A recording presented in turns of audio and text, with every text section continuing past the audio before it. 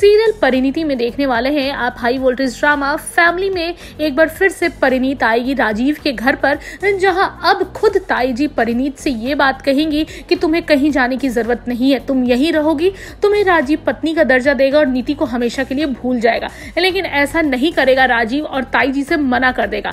और इधर परिणीत ये भी बात बता देगी कि नीति जो है वो राजीव के बच्चे की माँ बनने वाली है। ऐसे में मैं ना तो राजीव के साथ रह सकती हूँ और ना ही इस घर में रह सकती हूँ। आपको बता दें कि ताई जी ये सुनती हैं और उनके होश उड़ जाते हैं। अपकमिंग एपिसोड में जहाँ अब राजीव नीति को घर वापस लेकर आएगा और उसका खास ख्याल रखेगा तो वहीं ताई जी का गुस्सा भी आपको देखने को मिलेगा। ताई जी इस रिश्ते से बिल्कुल भी खुश नहीं है। किसी भी हालत में नीति और राजीव को एक नहीं होना देना चाहती है। और ऐसे में आप देखने वाले हैं अपकमिंग एपिसोड में कि नीति के ऊपर खतरा मंडरा रहा है। वो भी ताई जी की वजह से। देखना दिलचस्प होता है कि परिणीत कैसे इस सिचुएशन से नीति को निकालती है। और राजीव कैसे नीति को ताई जी के गुस्से से बचाता है।